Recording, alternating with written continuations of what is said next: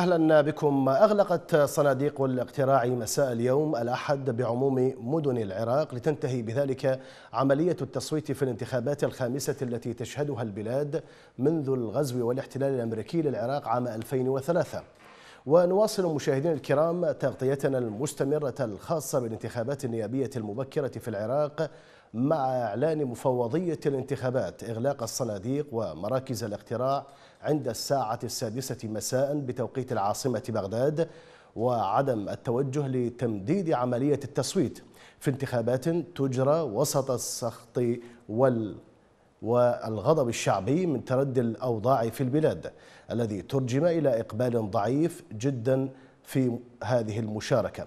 كانت بدايتها في التصويت الخاص ثم اتسع إلى دعوات المقاطعة التي استهلها الناشطون على منصات التواصل الاجتماعي. وينضم معنا في هذه التغطية في الاستوديو الأستاذ نوري حمدان الصحفي والباحث السياسي ومن الناصرية الناشط في التظاهرات كاظم ماجد.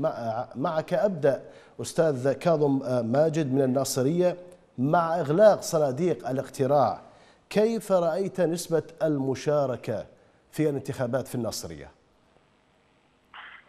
أهلا ومرحبا بكم وبقناتكم وبمشاهديكم الكرام.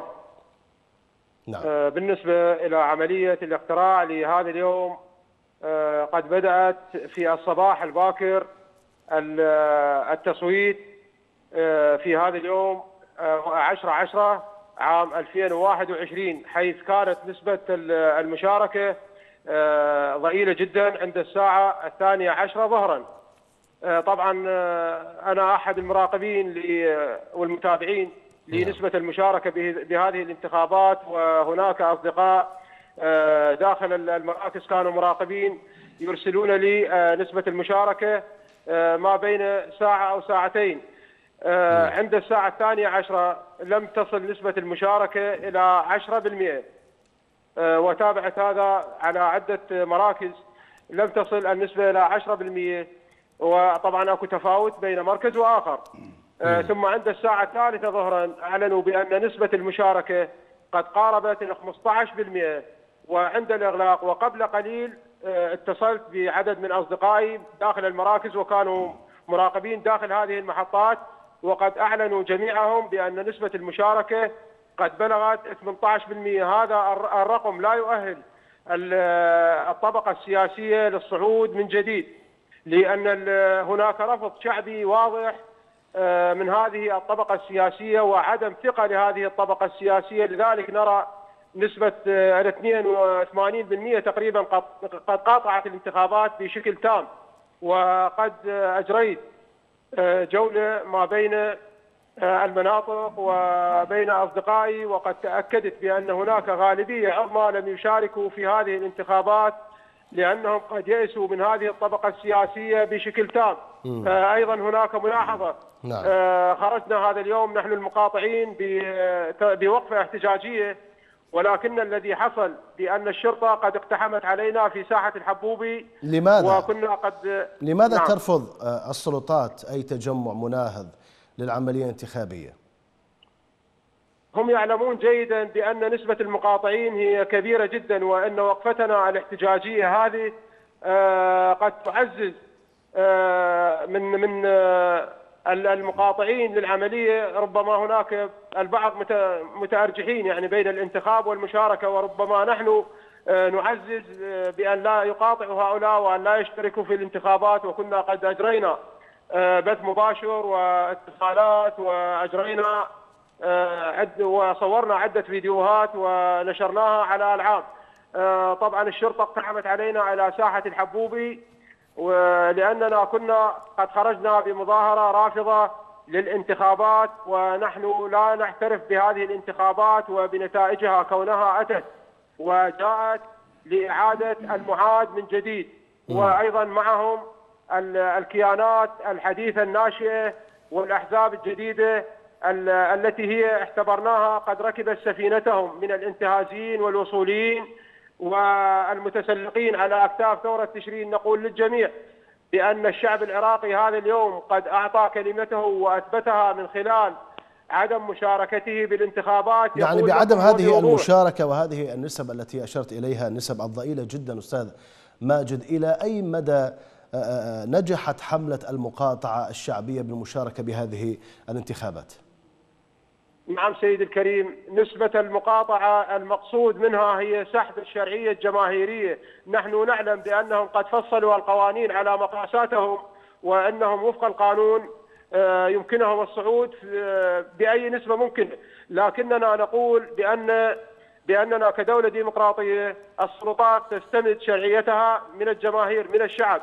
والجماهير هذا اليوم قد سحبت الشرعية الجماهيرية وأمام الملأ وعلنا نسبة المقاطعة بلغت ال 82% يعني الطبقة السياسية الآن غير شرعية ولا يحق لها العودة من جديد نحن اليوم آه، قد بدأنا نفكر بإطلاق آه، تظاهرات جديدة والنزول إلى ساحات التظاهر للمطالبة بتشكيل حكومة طوارئ آه، تمهد إلى عمليه نعم. انتخابية جديدة و طبقة سياسية غير هذه التي حكمت البلد 18 عاما وقد عاثت بالأرض فسادا آه، دمار وسرقات بالمال العام نعم. وطائفية وتهجير وتدمير مناطق بأكملها آه، أستاذ كاظم ماجد أعود إليك من وما بعد نعم. الإرهاب هي قواتهم وميليشياتهم التي ضربت المناطق وخصوصا أهلنا في المناطق الغربية بحجة إنها تقاوم الإرهاب الداعشي وهذه الميليشيات هي بحد ذاتها ميليشيات إرهابية. نعم أستاذ كاظم ماجد الناشط في تظاهرات من الناصرية أعود إليك وأنتقل إلى الأستاذ نوري حمدان الصحفي والباحث السياسي. كيف ستؤثر عملية المقاطعة على شرعية البرلمان القادم؟ أستاذ نوري. آه، طبعا آه، هو تحدث بالصواب. نعم. آه، ماجد. لأنه سيد عمر شرعية المقاطعة هي شرعية دستورية. نعم. لأنه والمشاركة أيضا هي حق دستوري. الدستور كفل لكل عراقي المشاركة في الانتخابات وعدم المشاركة. نعم. المشاركة لم تكن إجبارية هي طوعية لمن يريد المشاركة. المقاطعة هنا جاءت بدرجة آه، المشاركة شلون بدرجة المشاركة؟ نعم. لأنه العملية الانتخابية آه، التي آه، أجريت بها يعني نعم. اليوم الانتخابات هي مرفوضة من قبل التشرينيين ومن قبل القوى السياسية الأخرى لأن لأنها تعيد إنتاج نفس المنظومة السياسية التي قادت البلد منذ 2003 إلى اليوم فبالتالي النتيجة بمعنى أنه الجميع أنا أقولها من جديد الجميع يقولون أنه الانتخابات هي مطلب قانوني ودستوري وهي حق وبنفس الوقت هي الأداة للتغيير ولكن عندما تتوفر لها الشروط. نعم. شروطها شنو هي؟ القانون الأحزاب قانون انتخابات عادل مفوضية انتخاب مستقلة صحيحة. كل هذني المقاطعين أو المقاطعون ما شعروا بها حقيقة موجودة؟ لأنه قانون الانتخابات اليوم ما حدد هواي من الأمور بثغرات بثغرات كثيرة وكبيرة. أهمها بالنسبة إلي المعيار الوطني. في العراق لا يصلح انتخاب مجلس نواب على الأسس المحلية. يفترض على الصعيد الوطني حتى تبرز لدينا قادات وطنية. يكون عندنا مجلس نواب إلى أهلية وطنية مو محلية. هم مو آه، مهمتهم تقديم خدمات محلية. هم مشرعين لقوانين مراقبين لأداء الدولة بسياستها العامة مع علاقاتها الدولية مع تنفيذ المشاريع. يعني بسبب نقص الخدمات وما قامت به هذه الأحزاب من تجهيل المجتمع في حصر مهمة النائب بتقديم الخدمات جعلت المواطنين ينظرون إلى النواب ماذا قدمت لنا هو ما يقدم نعم. لك النائب ما يقدم لك على مستوى الشارع نعم. النائب مسؤوليته أكبر نعم. يرسم لك خطوط عامة رئيسية على مستوى الدولة علاقاتنا ودول العالم علاقاتنا ودول الجوار آه، الحفظ على سيادة البلد و ومراقبة الحكومة في تأدية خدماتها للمواطنين. نعم. فشوف القضية أكبر. هنا ما صارت. إجت المقاطعة بدرجة المشاركة أنا أسميها. المقاطعة مهمة وطنية كبيرة. علنوا عنها أناس هم آه، هدفهم الحقيقي صنع التغيير والإصلاح لهذا المجتمع. للأسف الشديد ما تحقق هذا يعني تحقق ما تحقق الانتخابات اللي مرجوة بالنسبة للمتظاهرين وبالنسبة للناس اللي يبغون الإصلاح. آه وتشرعت القوانين وفصلت عملية الانتخابات لإعادة إنتاج نفس الأحزاب فبالتالي لابد من العودة إلى الجمهور إلى الشعب ليقول كلمته في نتائج هذه الانتخابات. بداية هي المقاطعة. نعم. إحنا ما نشارك بالانتخابات وهاي انتخاباتكم على قدكم. طلعتوا بها شكلتوا 18% اذا إحنا 82% ال 82% إحنا الأغلبية. نعم. وما اعطيناكم شرعيتنا. راح تشتغلون بالبرلمان وفق القوانين اللي أنتم شرعتوها مو اللي إحنا نريدها.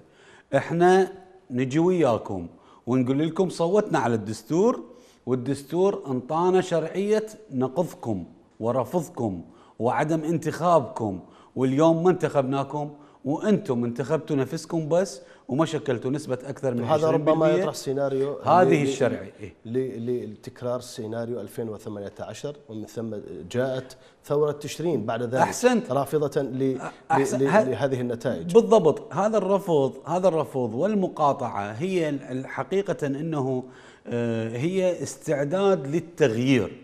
استعداد للتغيير. يعني اليوم على على مجلس النواب الجديد نعم. الذي خرج بهذه الانتخابات. إن كانوا حقيقة آه، جاءوا لمصلحة الوطن عليهم النظر بجدية إلى ال 82 ال 82% الذي رفضوا المشاركة في الانتخابات ورفضهم لأنه لا قانون انتخابات عادل ولا قانون أحزاب جيد ولا مفوضية انتخابات يطمئن لها المواطن. نعم. فبالتالي هدفهم الأساسي يفترض إصلاح هذين الركائز الثلاثة.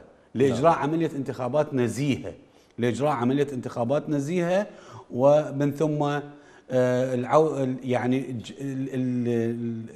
يأتي مجلس نواب ممكن يكون مهمته نعم. ممكن يكون مهمته إعادة صياغة أو تعديل الدستور لطرحه في استفتاء شعبي للناس نعم. لأنه إحنا كنا نرجو ما بعد هذه الانتخابات إن كانت هي عادلة ومتساوية للجميع بمسافة واحدة مع الجميع. نعم. نرجو من مجلس النواب الجديد يكون عنده الآهلية بالتعديلات الدستورية بكتابة دستور جديد. إحنا نريد تغيير حقيقي. نعم. ما نريد تغيير سطحي. ما نريد تغيير بأسماء وعناوين. يعني فقط على الورق وفقط هيك يعني مال شلون هسه اليوم قاموا يطقطقون بالصعاديات نعم. ببغداد هو إحنا نريد طقطق صعاديات إحنا نريد دستور يكتب جديد نعم. إحنا نريد ضمانات للناس حقيقية نعم. ما نريد يحتفلون ويلمون الصناديق ويودوها بثكنات عسكرية هو هذا السؤال لماذا الجيش سوف يبدأ بنقل صناديق الاقتراع جوا عبر مروحيات إلى قواعد عسكرية لت... لتحضيرها للنقل بعد ذلك إلى العاصمة بغداد، لماذا لا تنقل مباشرة إلى العاصمة بغداد؟ هذا هي هذه وحدة من المشاكل التي آه، استمرت في كل الانتخابات. نعم. وحدة من المشاكل التي استمرت في كل الانتخابات، إذا كانت الانتخابات عادلة لماذا الخوف؟ هي خوف من التزوير، خوف من إنه بالطريق يتم آه، استهداف هذه يعني الشاحنات أو المركبات التي تنقل يعني آه، صناديق الاقتراع. هذا المقصود ربما تتغير الصناديق في هذه القواعد العسكرية. هو في طريقة النقل ممكنة جدا. نعم. أليست المفوضية هي المسؤولة؟ ربما طبعاً. الجيش أو القوات الأمنية تقدم عمر الحماية عمر هو نقل الم... نعم. نقل الصناديق نقل الصناديق من المحافظات إلى بغداد من المراكز الفرعية من ال...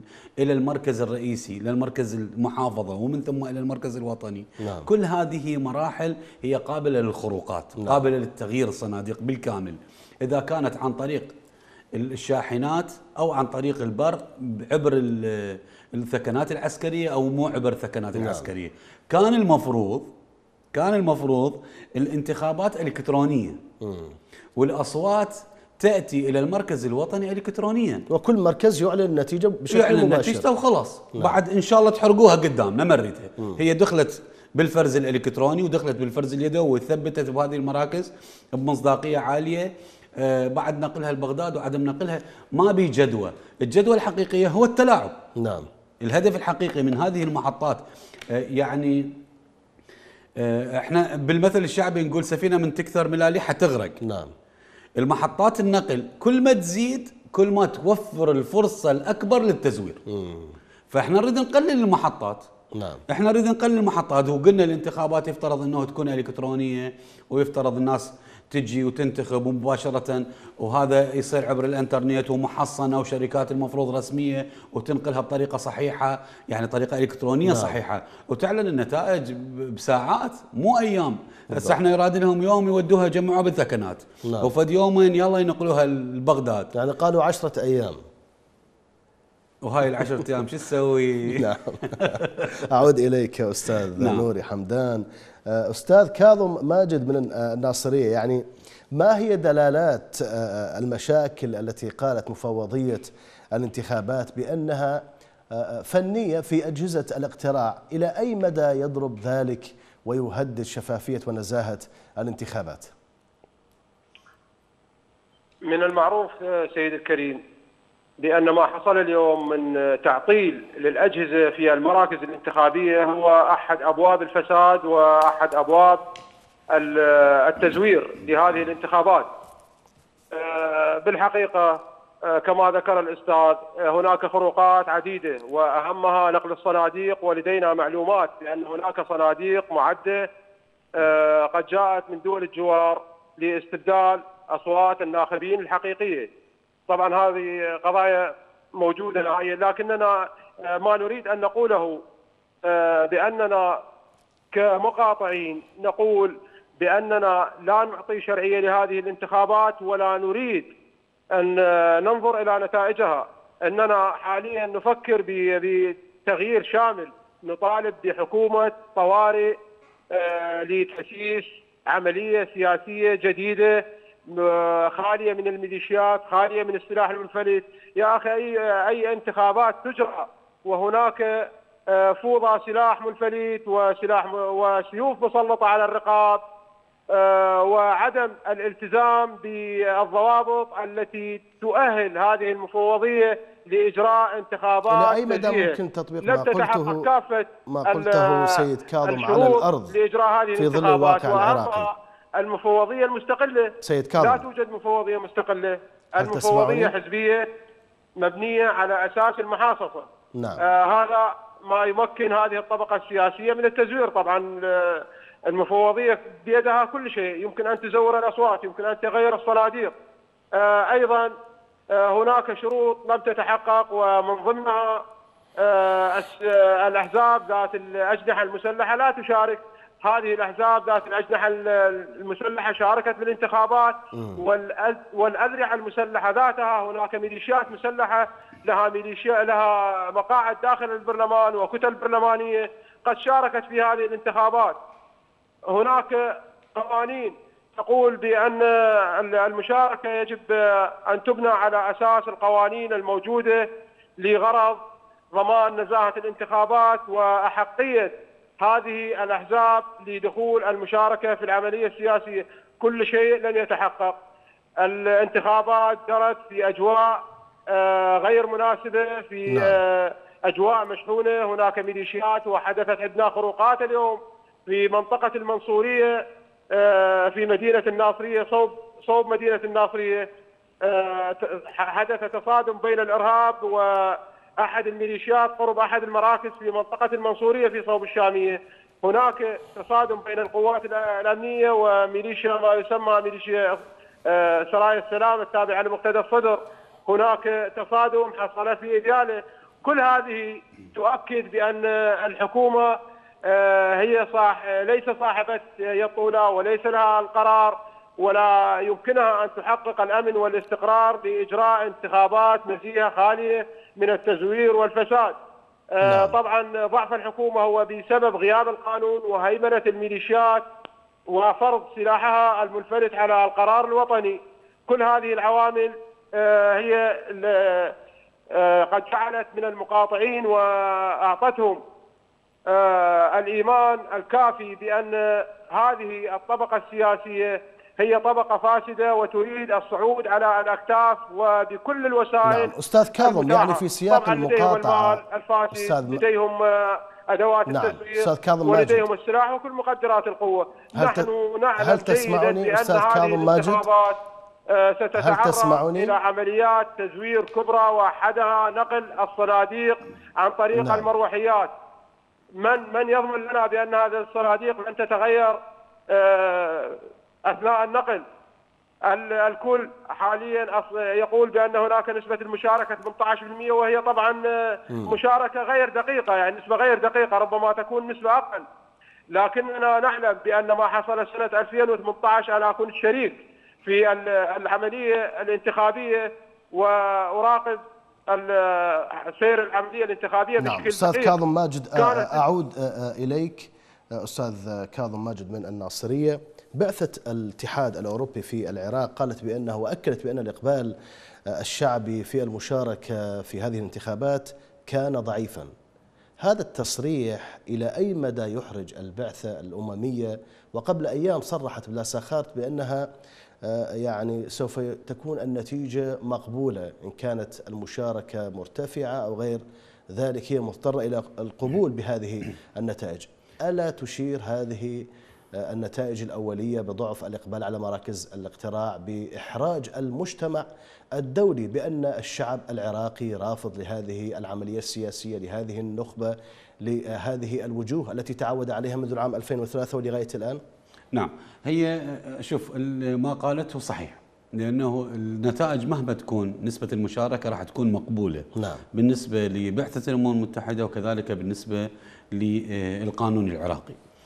بس ال- المشكلة وين؟ المشكلة أنه آه، رفض عدم أو عدم المشاركة النسبة المتدنية هي راح مثل ما تفضلت تسبب إحراج المن تسبب إحراج إلى المجتمع الدولي شعبيا وراح تسبب إحراج للحكومة والمجلس النواب المقبل أيضا شعبيا من قبل الشعب العراقي. فراح يكون آه، يعني أي أي قرار حكومي. أو اي نا- أي قانون يشرع من قبل مجلس النواب هو راح يكون موقع الشك وموقع الرفض من قبل الشعب العراقي وراح بسهولة جدا يتم تأييده عالميا، عالميا مو على الصعيد يعني أنا متى أتحدث على الصعيد ال- آه، مجلس الأمن و- والأمم المتحدة و- والجامعة العربية. لا ممكن نحصل على نسبة من هؤلاء ولكن المكسب الحقيقي هو الشعبي الرفض الشعبي حتى العالمي. يعني التأييد ال- ال- الشعوب العالم إلى الشعب العراقي الرافض لإجراء انتخابات بهذه الطريقة ومن هذا النوع آه، راح يجعل حتى حكوماتهم لأن ذولاك آه، يعني ناس يعرفون شلون يحجون. يعني بصراحة هيك خلينا نقولها. نعم. لما يبدون يتحدثون منظماتهم اللي تراقب منظماتهم الحقوقية منظماتهم حقوق الإنسان راح تبدي تشتغل بتقارير آه، تنعكس على أداء آه، أدائهم السياسي كسلطات. شلون يتعاملون مع النظام في العراق أو الدولة في يعني الحكومة ومجلس النواب في العراق. وهذا يخلق ضغط حقيقي. اليوم المقاطعة تختلف تماما عن العزوف. عزو يعني شوف آه ال- العام 2018 كان أكو عزوف كبير. والعزوف الكبير للشعب العراقي سببه كان شنو؟ نقص الخدمات آه تردي أوضاع المعيشية للناس على الصعيد الاقتصادي على الصعيد الأمني آه تدهور الأوضاع السياسية. البلد كله ما مرتاح. بالتالي عسفوا عن المشاركة في الانتخابات فكانت مؤشر سلبي اتجاه آه، المنظومة السياسية اللي تقود البلد أمام العالم على اعتبار إنه شعبكم عزف عن المشاركة في الانتخابات. لذلك أكو أسباب. اليوم تختلف التعامل يختلف اليوم أكو إعلان مقاطعة مو عزوف. نعم.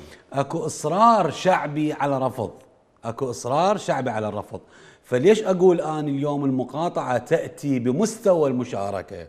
لأنه إحنا اليوم بالانتخابات أكو خلينا نقول جمهورين. جمهور راح يشارك ويقول هاي العملية السياسية أنا عاجبتني. وجمهور رفض المشاركة وصوت بلا وكلا ولن لأي تأييد ولن نؤيد هذه نتائج هذه الانتخابات. فبالتالي هنا الجمهورين إيش قد انعكسوا؟ من 18 لل 82% هذه المشاركة هنا الجمهورين هنا صارت أكو نوع من التوازن مو عزوف. ارجع اكد مو عزوف إعلان مقاطعة منظمة. داعين لها شباب آه، نظموا أنفسهم بكتل سياسية جديدة في مجلس في انتفاضة تشرين نعم. مع قوى سياسية كانت لديها دور ومشاركة في العملية السياسية ب 2018 وما سبقها. اليوم أكو منظم يعني مقاطعة منظمة يعني إعلان واضح. فعلى العالم على العالم بكل مؤسساتهم الرسمية وغير الرسمية النظر بعين حقيقية وبجدية إلى هذه النتيجة. هذه النتيجة طبعا آه، الم... أنا بالنسبة لي مهما تكون النتائج في م... نعم. في عدد المقاعد للكتل ما يعنيني هذا. أنا ما يعنيني منو سين أو صاد في مجلس النواب صعد من مجلس النواب من خلال نتائج الانتخابات لا أني اللي يعنيني المفوضية تكون صادقة في إعلان نتيجة المشاركة نسبة المشاركة مم. لأنه نسبة المشاركة تعطيني نسبة الرافضين نعم. نسبة المقاطعين فنسبة المقاطعين ذولا مو خارجين عن الدولة ذولا أبناء الدولة ذولا يردون إجراء انتخابات مو بهذه الطريقة.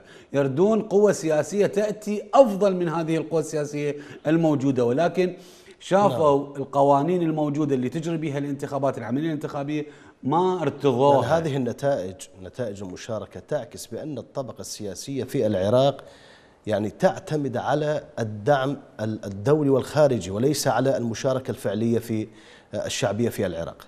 هو بالتأكيد يعني نعم. شوف هم النتائج يعني مثلا المؤسسات الدولية العالمية نعم. تتعامل ويا ويا الدولة وفق من وفق قوانين هذه الدولة نعم.